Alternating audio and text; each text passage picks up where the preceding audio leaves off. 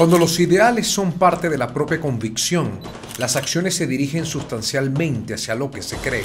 Para muchos esto fue lo que por años quiso hacer el general Raúl Isaías Baduel, un hombre de gran poder en tiempos de revolución y de profundos como complejos cambios.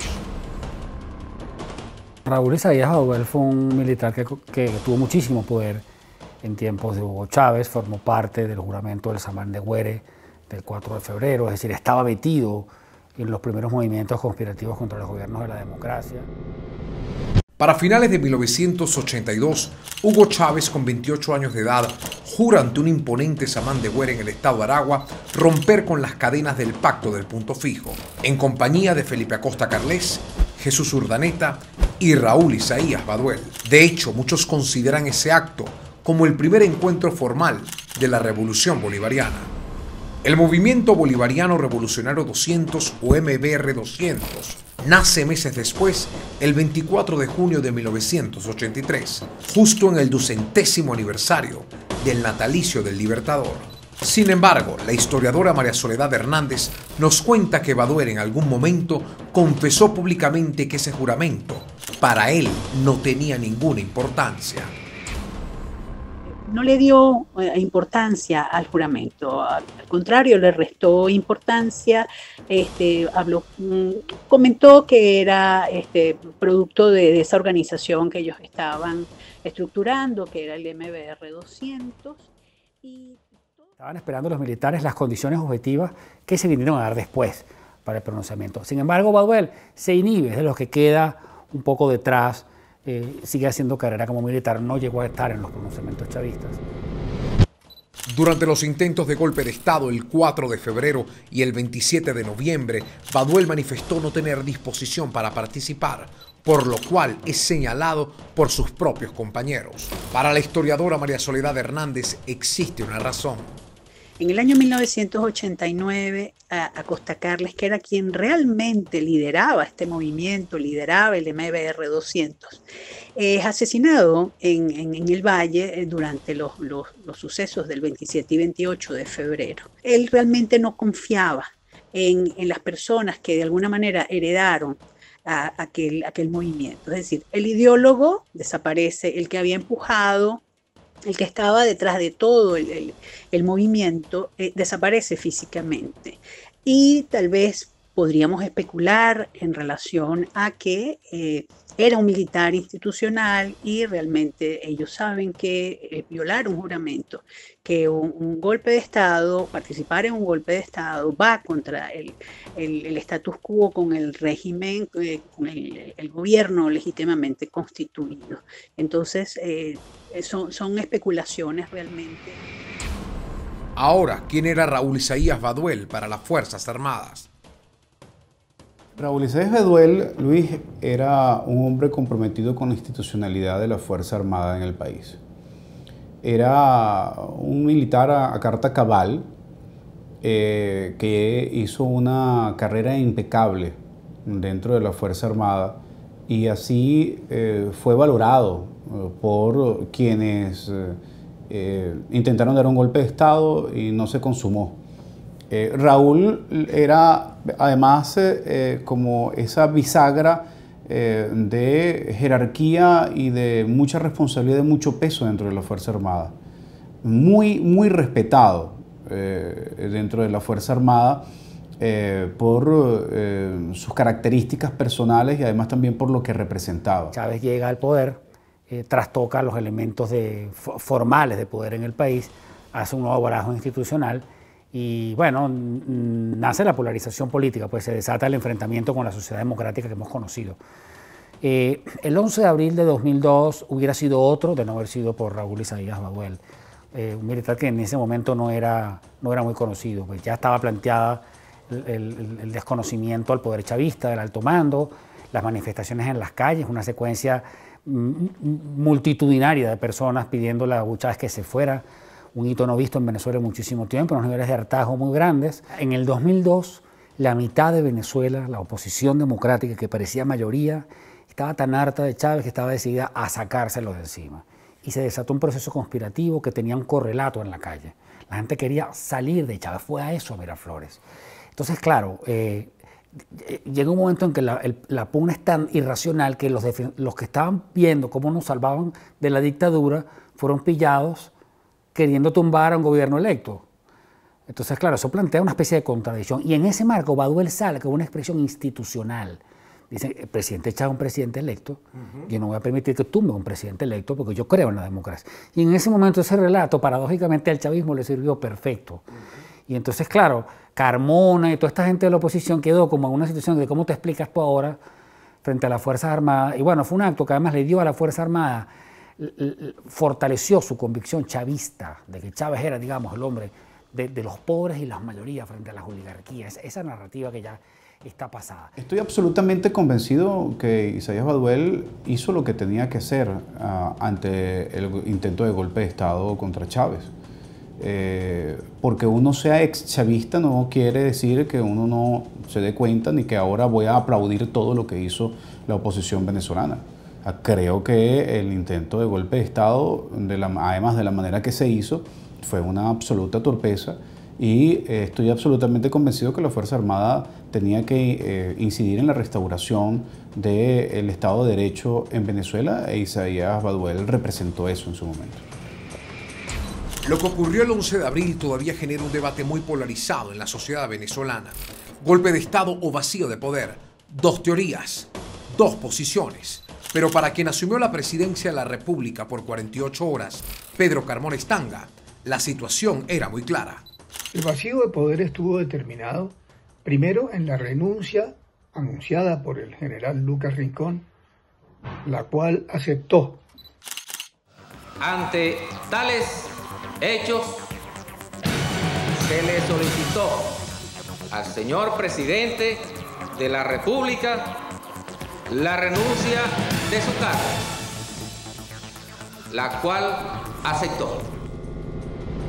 Pero el otro hecho fue que los integrantes del gobierno, incluyendo el vicepresidente ejecutivo, desaparecieron.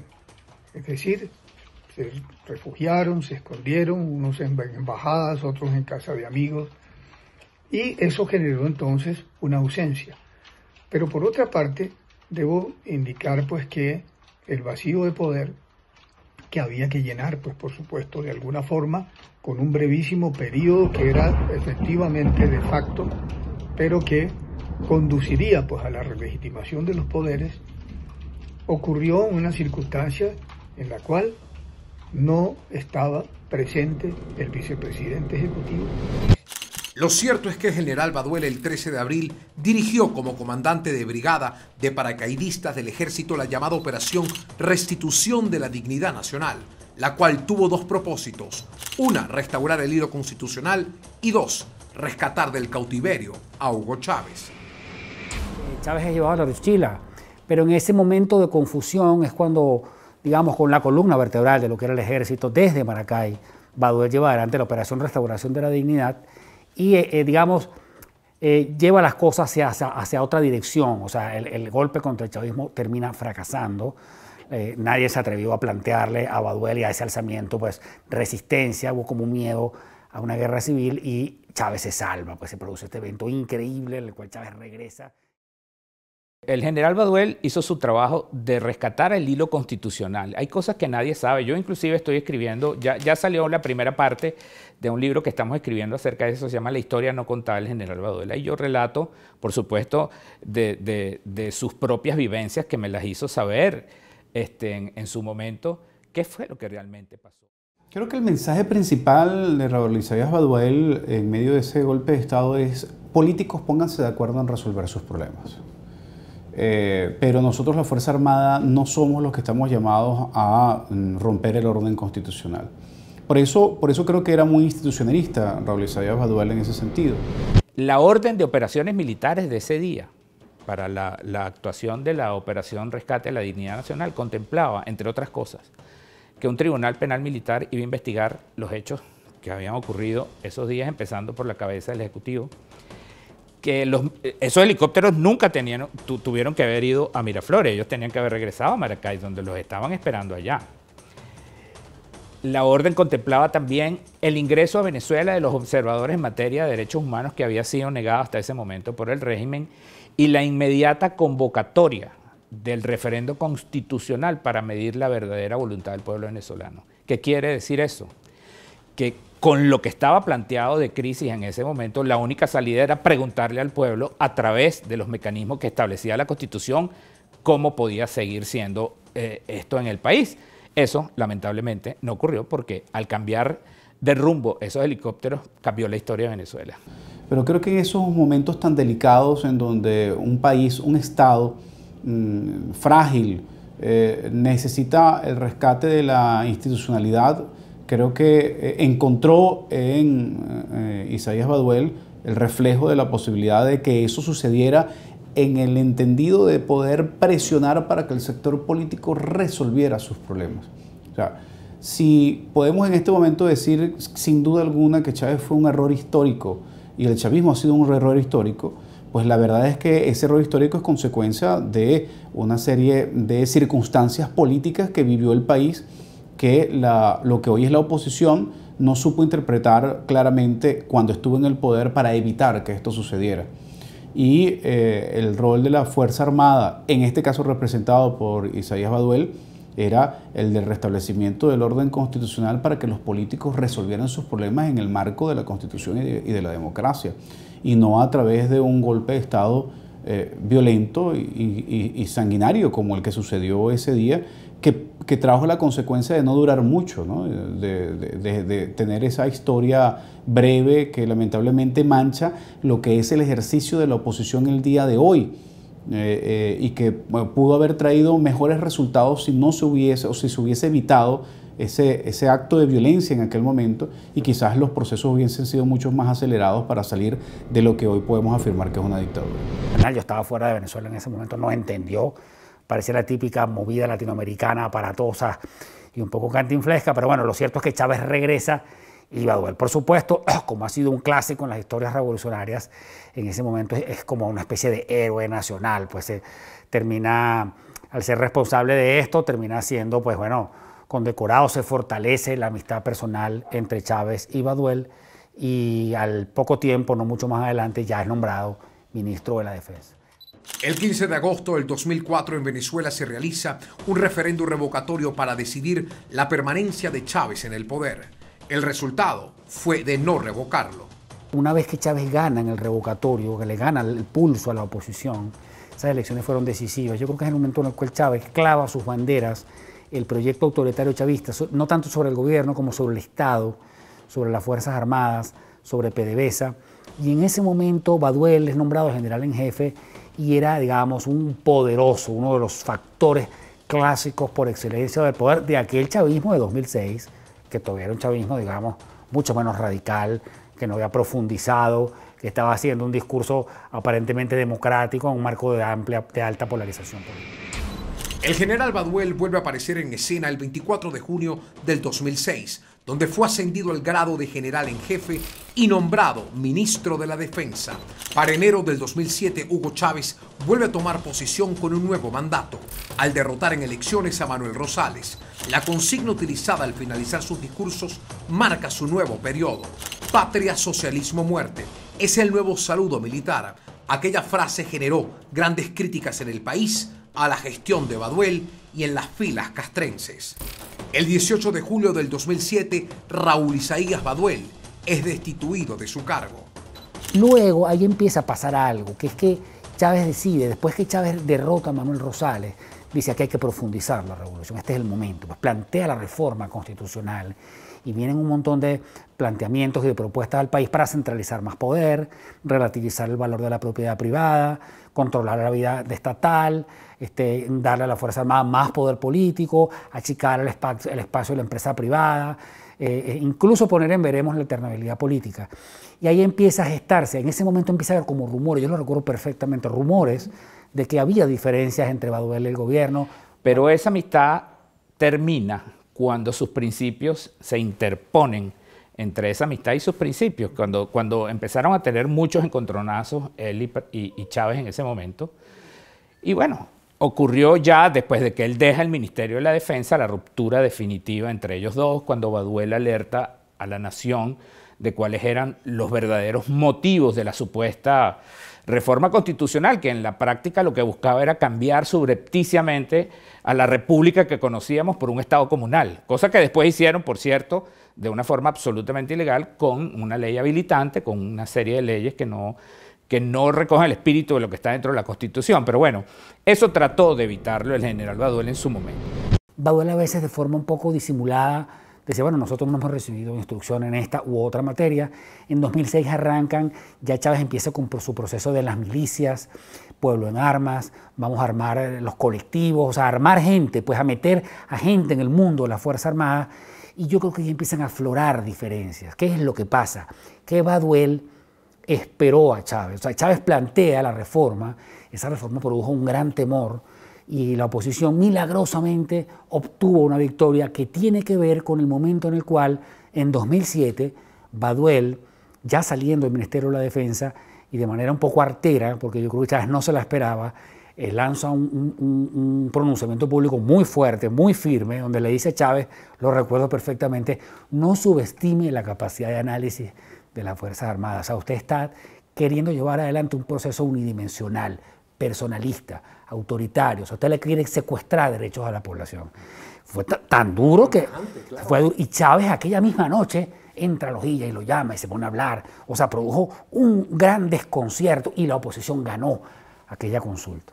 Y yo creo que Chávez pasa, perdón, Baduel pasa ya a la, zona del villano, pues de ahí es donde iba a arrancar el calvario personal de Raúl Baduel. Siempre hubo el temor este, de, de, Chávez con respecto a que Baduel pudiera haber sido la persona que le daba el golpe de Estado, y esa fue la razón por la que se cambió el rumbo de los helicópteros, por cierto.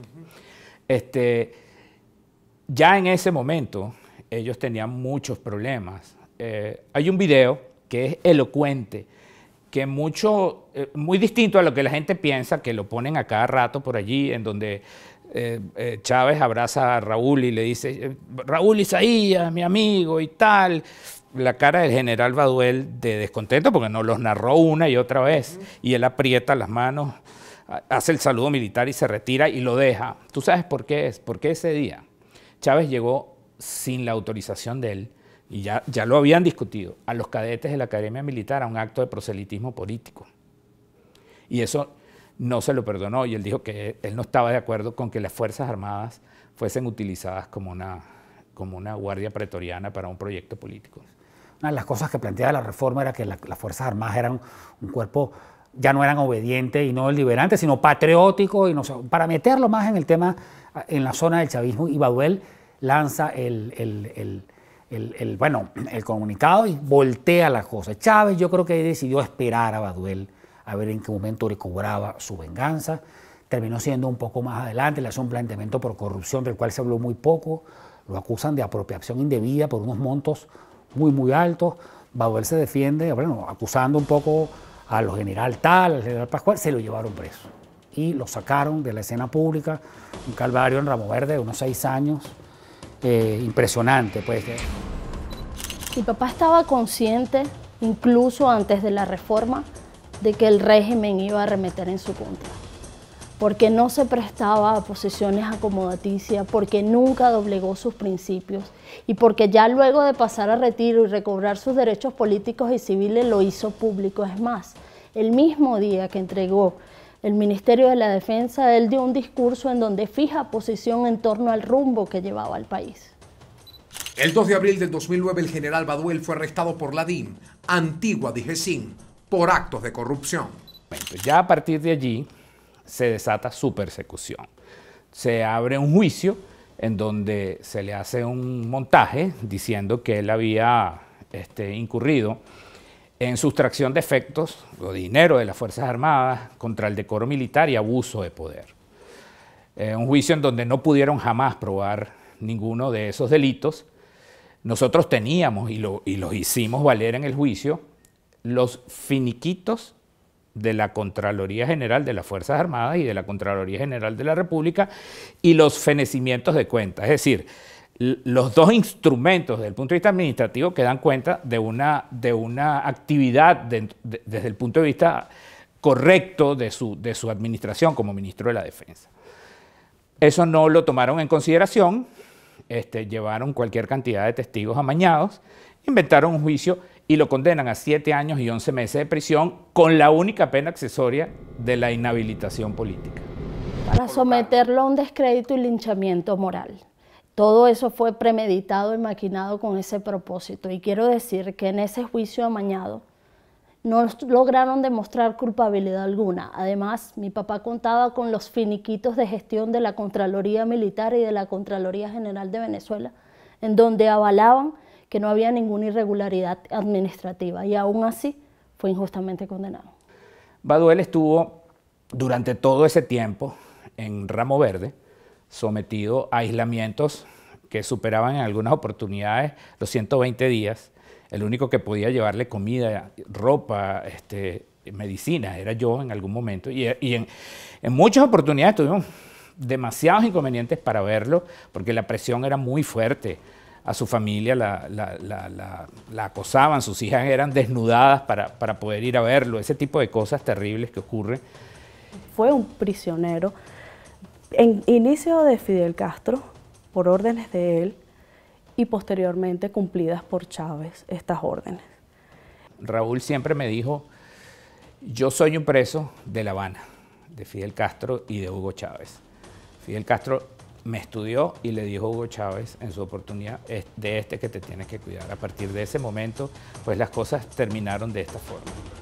El 12 de agosto del 2015 sale de la cárcel de Ramo Verde para el 12 de enero del 2017 nuevamente fue encarcelado por incumplir su libertad condicional. Posteriormente se le imputaron nuevos cargos. Él estuvo pocos meses en libertad, estaba en su casa en Maracay este, y tenía Maracay, digamos, como, como sitio de reclusión. Pues él podía estar allí, pero no podía salir de Estado de Aragua. él se presentaba todos los días 12 en un tribunal militar allá, firmaba un libro para, el cumplimiento de su pena y venía cumpliendo seriamente pues con, con sus cosas. Nosotros como hijos decidimos, a pesar del dolor, respetar su decisión de continuar acá, sabiendo lo que podía ocurrir y lo que lamentablemente ocurrió ese 2017, que fue que lo metieron preso nuevamente y duró una parcial libertad que para la familia fue una alegría quizás no completa porque también teníamos a un hermano preso. Pero bueno, nada, sí en una ocasión nosotros como hijos se lo planteamos a lo que él se negó y lo respetamos y decidimos acompañarlo. El 10 de enero del 2017 se crea algo que se llamó el Comando Antigolpe. El Comando Antigolpe lo, conformaban en ese momento todas las figuras importantes, digamos, del chavismo, y se juramentaron a las 12 del mediodía, a las 6 de la tarde estaban allanando la casa del general Baduel. Cuando llegaron estas personas eh, que, enviaron para allá, los vecinos relatan que querían sembrarles unas armas y una cosa, y entonces salieron en defensa del general. Total que eso no, no ocurrió, sí, sí, se procedió al allanamiento, por supuesto no consiguieron nada porque no tenía nada allí.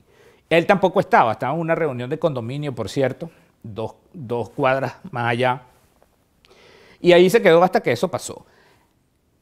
Pensaron que él se había ido a la clandestinidad. Y dos días después estábamos presentándonos en el tribunal donde él tenía que firmar el libro. Al ver esto, casi que no nos querían dar el libro. Finalmente nos los dieron, firmamos y cuando vamos saliendo, nos increpa un grupo numerosísimo de funcionarios con pasamontañas, vestidos de negro, eh, con armas largas y todo, nos apuntan y nos dicen, Mire, doctor, este, el general no se puede retirar, usted no se puede retirar. ¿Por qué? Bueno, porque él ha incumplido la medida y, este, le ha sido revocada la libertad. Y ¿dónde está eso? ¿Cuál es la razón? ¿Por qué? Además, les voy a decir, esto es tan falso como que venimos al tribunal de firmar el libro y estamos aquí en la sede del tribunal. El hombre me dijo, no me lo haga difícil, nos tienen que acompañar. ¿eh? Tuvimos que acompañarlos, pese a que era una cosa absolutamente arbitraria. Este, estuvimos allí como cuatro o cinco horas hasta que fabricaron una orden que trajeron, mire, esta es la orden. Eh, se inicia una caravana hacia Caracas. Este, A nosotros no, nos impiden el paso y la caravana desaparece en la autopista. Las camionetas armadas eh, nos apuntaron y tuvimos que parar la marcha, ellos se, fueron.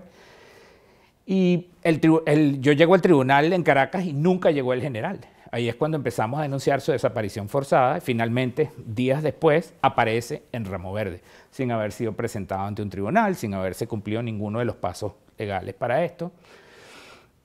Y este, eso fue esos días de enero. Quiero hacerte este comentario porque el día 3 de marzo del 2017 se cumplía la condena completa del general Baduel. El general Baduel el 3 de marzo del 2017 recuperaba su libertad y sus derechos civiles y políticos y cesaba la inhabilitación política, que fue la única pena accesoria, por cierto, que tuvo su, caso. Eh, el día antes de que se cumpliera eso, un día antes, es trasladado a otro tribunal penal militar y le fueron imputados nuevos delitos de traición a la patria, rebelión militar, que comportan penas muy grandes y que para una persona de más de 60 años, 60 y pico años, este, eso era el equivalente a que no iba a salir nunca en libertad. Duró más de cuatro años en la tumba, con el pasar de los años de su injusto cautiverio, fueron aislándolo más, fueron incomunicándolo más dependes de todo, de cómo te vayan organizando o imponiendo el régimen en tu día a día. No tienes noción del tiempo. La única forma de que mi papá tenía para saber qué hora era aproximada era cuando comenzaba a trabajar el metro, porque estaba debajo del metro, y cuando cesaban las funciones del mismo. La tumba es un centro de tortura con el propósito de deteriorarte psicológicamente y físicamente. Es decir, tu padre sabía la noción del tiempo por el sonido del metro. Así es, así es. Bueno, yo creo que catalogar alguno en específico es como pasar por debajo mesa tanto horror que nosotros como familia hemos vivido. Yo, el, el periodo de la tumba, luego cuando lo sacaron a la cárcel en el Fuerte Tiuna, en ese tiempo nosotros como familia no sabíamos cómo establecer qué lugar era peor. Si la tumba, por las condiciones, o eh, el Fuerte Tiuna, la cárcel del Fuerte Tiuna, donde no podíamos tener ni siquiera contacto físico con mi papá, donde lo veíamos a través de un vidrio y hablábamos con él por un teléfono, tal cual película. Entonces, quizás establecer algún hecho en específico es como como que eh, quitarle la atención. exacto, la atención o restarle a todo lo que hemos vivido porque ha sido un suceso tras otro realmente. Mira, lamentablemente, él, al igual que el resto de los presos políticos, les han sido violados sus derechos fundamentales.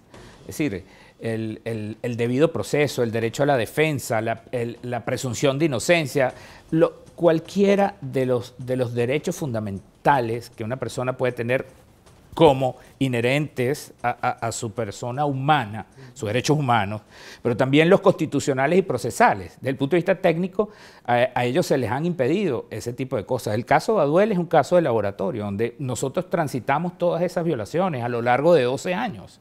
Es decir, todas esas cosas las vivimos, las vivió su familia, las vivió su entorno. Y bueno, lamentablemente queda como un, eh, este, como un ejemplo de lo, de lo que ocurre en Venezuela. Raúl Isaías Baduel fallece el 12 de octubre del 2021. Nosotras cuando lo vimos sí estábamos alertadas porque ya, ya era inminente su desgaste. Y luego de esa fe de vida no tuvimos más comunicación con él. Es más, ese mismo día que él lamentablemente fallece, nosotros habíamos mandado los alimentos y las cosas que creíamos que podían necesitar porque él tenía 15 días compartiendo celda con mi hermano y nadie nos informó de nada. Nosotros nos enteramos como se enteró el mundo a través de las redes sociales y le estábamos pidiendo a Dios que eso fuese mentira, que fuese un fake news, que fuese otra patraña del régimen, pero jamás pensamos que eso iba a ocurrir. ¿Cómo te llegó a ti la noticia? Sí, por las redes sociales comenzaron a llamarme, comenzaron, y nosotras no, lo dábamos como, como un fake news. O sea, nosotros no podíamos dar crédito a eso hasta que no supiéramos algo más. Y nunca supimos ese algo más. ¿Cómo fueron esas últimas días? ¿Qué te relató tu hermano? Bueno, mi hermano nos relató que él, previo a ese día, de ese desenlace para nosotros tan trágico, él manifestaba y solicitaba a las autoridades de allí del, del centro penitenciario donde ellos se encontraban que les prestaran una ayuda médica porque mi papá ya estaba en una situación crítica, un deterioro orgánico progresivo y él estaba en una situación que nunca para nosotros era común, porque mi papá siempre fue una persona de ímpetu y de nunca manifestar alguna dolencia. Pero bueno, bien sabemos que tras todas estas torturas, estas han sido, fueron las secuelas y las consecuencias de estos largos tiempos de, de esa tortura. Mi hermano fue prácticamente quien fungió en sus últimas horas papeles de enfermera o de enfermero, digámoslo en este caso, en parte enfermería, para mi papá porque nunca recibió una asistencia médica inmediata y oportuna. ¿Tu padre murió de COVID? No, mi papá no tenía COVID, porque yo lo vi el 2 de octubre.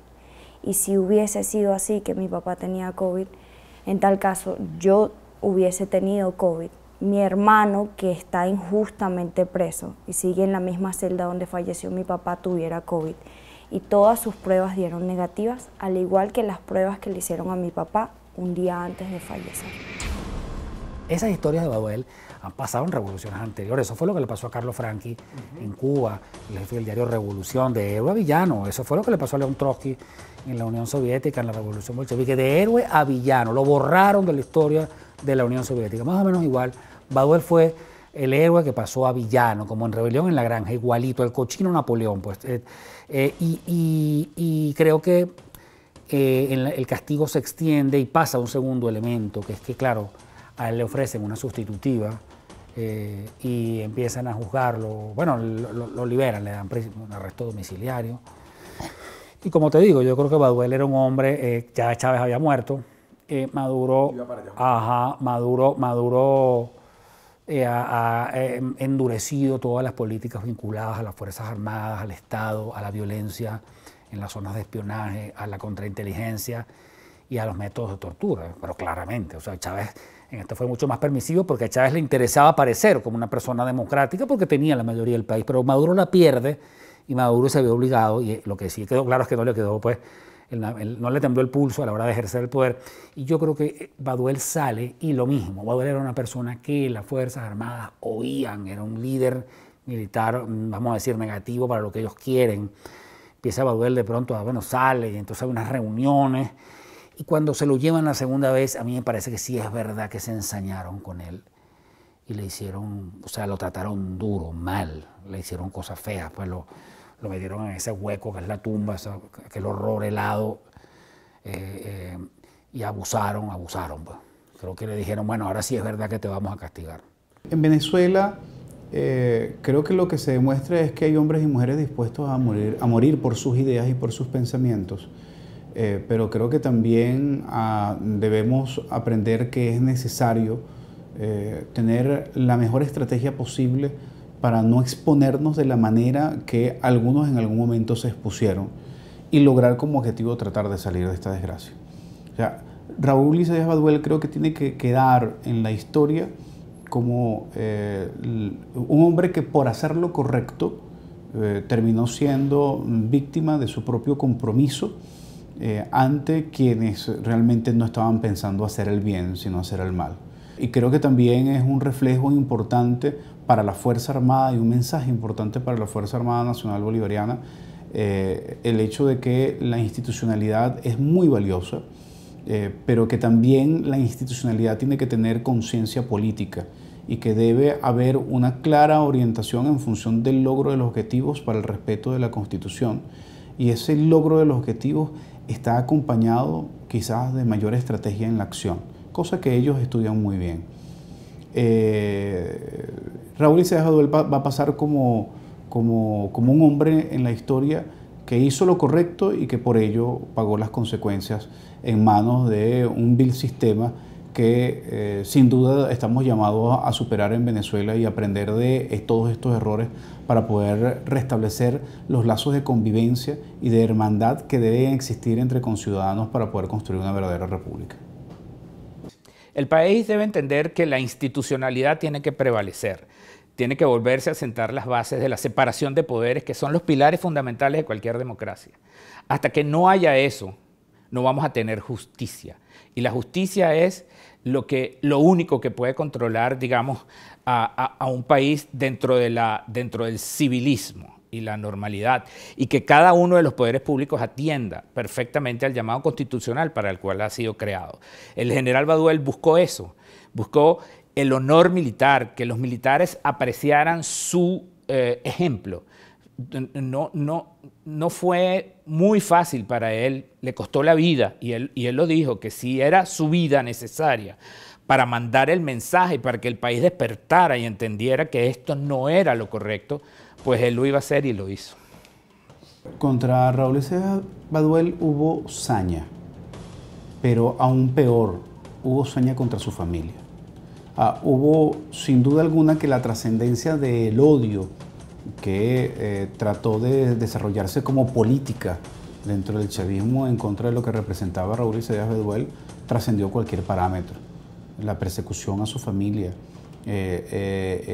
todos los señalamientos y toda, toda la situación que enmarca la muerte de Raúl Izaías Baduel, sin duda que pone de primer plano el hecho de que ya no solamente la concepción guerrerista heredada del chavismo se aplicó eh, teniendo un prisionero de guerra, es que incluso se y respetaron los códigos más básicos eh, de eh, una relación de conflicto, incluso estando en guerra. Que, que, no lo estamos, pero ellos asumen permanentemente que están en una guerra, ya no por la defensa de una ideología, Luis, es por la defensa de su status quo y por la defensa de del espacio que han eh, eh, logrado conquistar y que prácticamente eh, consideran que es de ellos. La figura del general Raúl Isaías Baduel y lo que fue quizás representa la lucha de muchos más. Su vida y su muerte vuelcan la mirada sobre el respeto a los derechos humanos, pues sin lugar a dudas son necesarios y fundamentales dentro de un Estado de Derecho. Organizaciones internacionales como la ONU y Amnistía Internacional han señalado la necesidad de examinar lo ocurrido con Raúl Isaías Baduel y para quienes están de observadores se abren las siguientes interrogantes. ¿Cómo esta historia puede replantear el respeto por los derechos humanos, o por la vida, o por un trato digno? Y a la historia, ¿su muerte tendrá peso sobre el devenir de Venezuela?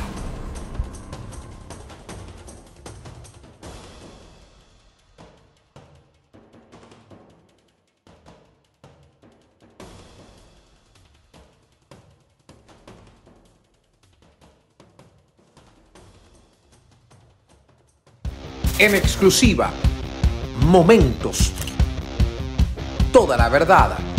Y los invito a mi canal de YouTube para que conozcas historias contadas de otra manera. Suscríbete a mi canal y activa las notificaciones.